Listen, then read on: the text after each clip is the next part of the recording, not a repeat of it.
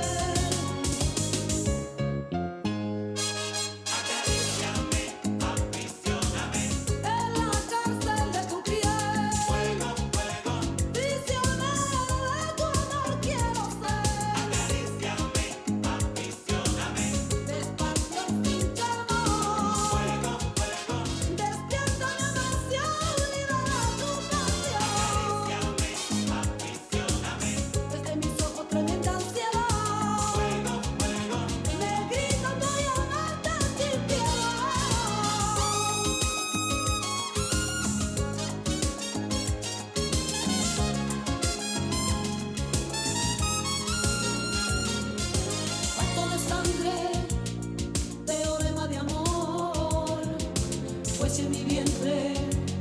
Siempre fuimos los dos, de nada más.